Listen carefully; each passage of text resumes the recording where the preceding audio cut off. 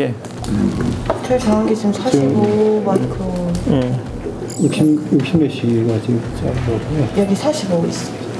45. 45에서 150미크론. 위에서부터 싹 내려온 거예요. 한여 몇시 지금 촘촘한 것 같은데. 여기 되게 촘촘한 것 같은데.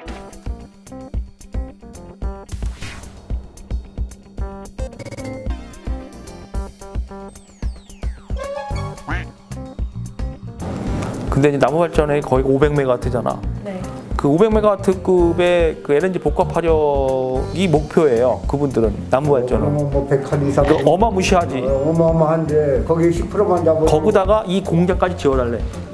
토지 비용이 돈이 안 든다는 얘기예요. 플러스입니다. 그거 그게 사업 계획서에 들어갔어요. 그러니까 돈이 안 되는 거지 들어가는 예, 거고. 플러스죠.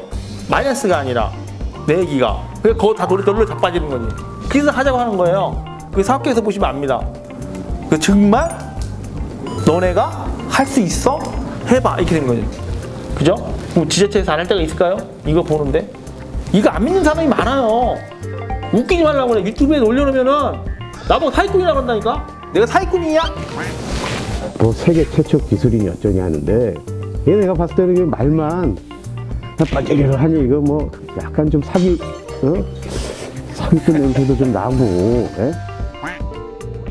네. 그래서 이게 일반적으로 우리가 저 베이킹파우더 수준의 순도 정도 까지라도 나오면 식품 첨가물 엄청난 수요가 있을 거고 그리고 이게 뭐가 있냐면 이게 우선 구매 조건이 있어요. 이런 건 앞으로 탄소 기법이 나오면 CO2를 자원화한 제품에 대해서는 우선 구매할 수가 있다고. 그러니까 이거는 CO2가 없으면 이거 못 만들어요. CO2를 먹었기 때문에 변한 거야. 어떻게 만들 수도 없어요. 우리, 다, 우리 전량 수입해요 2천억 1년에. 네, 다 조사했어요. 엄청난 자본이네 저게 그럼 그러면 수출도 가능해. 우리 수소도 할 줄 알아요? 수소가 뭐 어떤 거 말씀하세요? 수소가 나온다니까. 수 소가 나온다. 아직 조금 나오는데 많이 나오긴 할 거예요. 나오긴 나와요. 몇 ppm 나오니까 최고리 지금 한 580 ppm 정도. 나오고. 이거 뭔 얘기냐? 농도로 따 농도로. 저 농도고요. ppm으로 따지면 농도니까 그람으로 따지면 이제 얼마 안 되지만 그 돈인데 돈이죠. 어마무시하죠. 이게 그거 아까 얘기했다 이해했죠? 예, 예. 우리 그냥 그냥 막 사기치는 사람들 아니에요. 예. 실무력 있잖아요. 내가 노벨상 줘야 돼 노벨상 야 바꾸지 않는다 이거 그 혹시 대기 중에 이산화탄소를 그 흡수, 포집한다고 하거든요. 그거 어떻게 포집하지? 완벽하게 흡수, 포집해서 네. 새로운 신에너지로 변화를 개발해야죠. 시킬 수 있는 네. 기술을 네. 가지고 있는 기업이 네. 대한민국의 어떤 중소기업이 기술을 보유하고 있어요. 혹시 들어보셨나요? 아니요? 처음 들어봤어요. 저희 대한민국에서 그러면 그게 된 거예요? 오! 대박이네요, 이건. 정말 그런 일이 있다면 정말 노벨 평화상을 받아야 할 정도로 아, 우수한 국가가 될 거라고 생각하고 한국에서 그런 기업이 나온다면 아무래도 대한민국이라는 나라가 더 자랑스럽게 느껴지겠죠.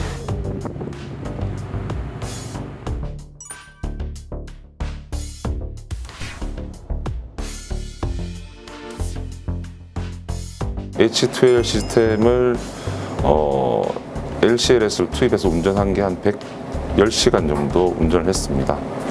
어, 그 전체적인 데이터를 분석해 본 결과로는 현재 저희들 시스템은 정상적으로 작동이 되고 있고 그리고 배기가스 배출 기준에 맞춰서 저희들 제품을 사용을 했을 때 황산화물이 저감된다는 것을 실질적으로 확인을 했고요. 그 데이터 값도 어, 획기적으로 제로에 가깝게 어, 줄어든 어, 데이터 값을 확인을 했습니다. 그러니까 어? 저 선박에서 뿜어내는 그 대기 오염 물질들을 어? 확다 잡는다 이 말이잖아요 맞죠?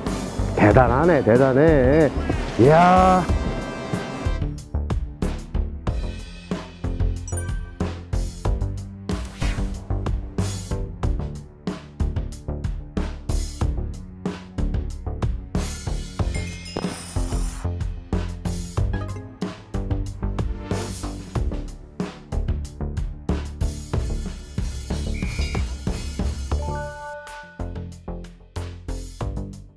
우리 로우 카본과 우리 대리점 나누지 말고 우리 같은 동지라는 개념으로 무엇 때문에 여기 모였고 무엇을 하고자 함인가를 목표를 분명히 좀 했으면 좋겠다라는 생각이 들어서 파리 기후 변화 협약의 가장 쟁점은 어, 지구의 온도를 낮추기 위한 탄소 배출권의 원리를 비롯해서 탄소 배출을 줄임으로써 하나의 메커니즘으로 작동하는 국제사회의 규제를 만들었죠. 어, 삭스, 낙스, CO2 이 세 가지는 앞으로 IM에서 그 환경기후 대응 시장의 지속적인 화두가 될 것이라 생각합니다.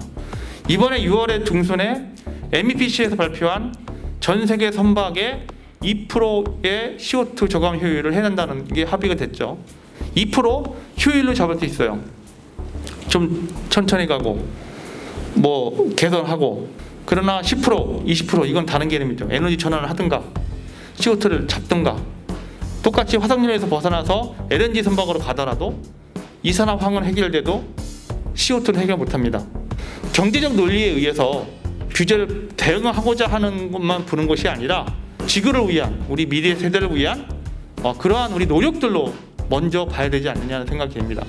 그 가치가 우리 로우 카본에 녹아 있고 이런 기, 혁신적 기술들이 어, 지구를 구하고 우리의 딸들과 아들에게 새로운 환경적인 미래를 꿈꿀 수 있는 그런 사업이라고 저는 생각합니다.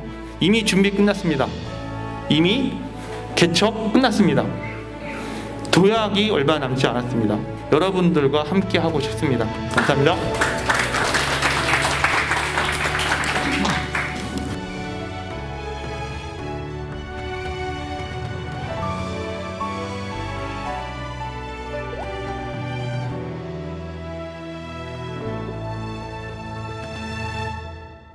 뭐 앞으로 이제 50년 되면 뭐 지구 온난화 되면 뭐 저 뉴스 들으니까 대구에 뭐 2.3배 되는 남극 빙하가 떨어져 나갔다고 합니다.